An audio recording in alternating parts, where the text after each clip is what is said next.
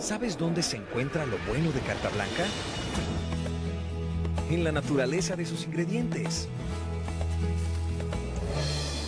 Naturalmente, carta blanca. Sigue lo bueno Con moderación.